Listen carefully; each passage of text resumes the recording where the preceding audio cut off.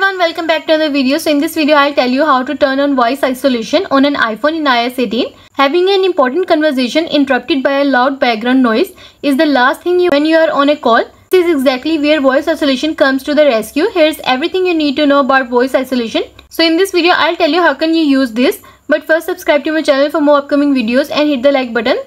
So let's start the video without wasting any time. The voice isolation option appears only when you are on a call.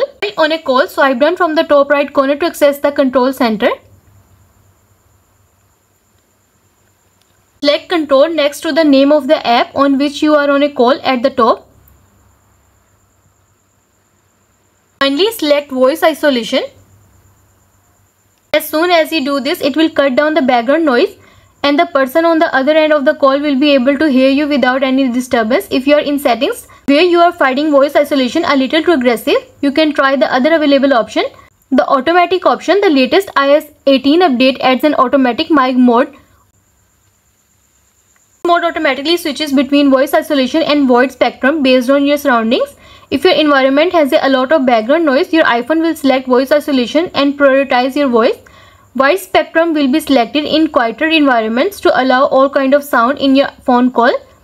And the standard mode does not change the quality of the audio and wide spectrum obtains a wide range of sounds from your audio and you are done.